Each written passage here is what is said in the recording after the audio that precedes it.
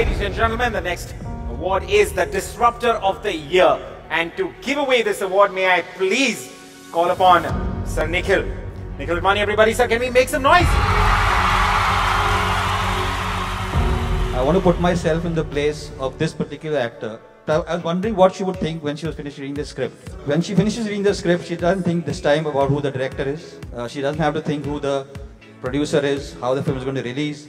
She's going to have to think what responsibility she has on her shoulders to play this character. The only word I have for is courage, possibly brave. It speaks for itself. Manu. Manvi Brar. I'm supposed to take Zumba classes here. Licensed Zumba instructor.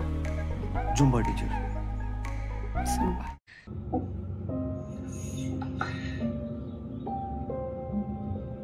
I'm a classical. मैं हमेशा से ऐसी नहीं थी तो फिर कैसी?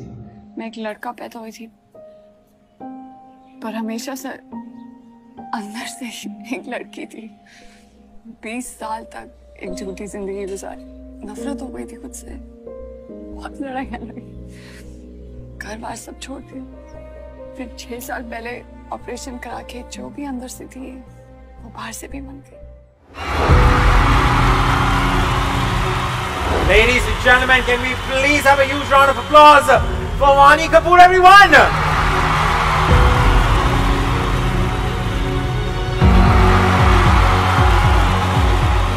I love you too.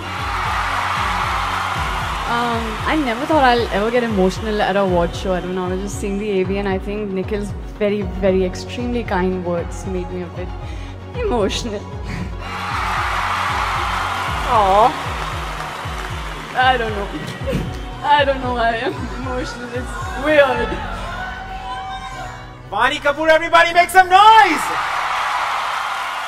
I think it was a earnest attempt to make a film like this, and I think it wouldn't have been possible without the entire cast, incredible cast and crew of Chandigarh Kare Aashiqui. Got to have so much respect for you. Not everybody has the courage to back a script like this. Not everybody has the courage and um, intentions, the the kind of intention this film was made with. I've never seen Hindi cinema make something like this. And I think artists, more than money, I mean, I can speak for myself, it's the respect you crave.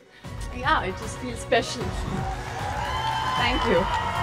And thank you, um, Indian Film Festival Melbourne. This is special.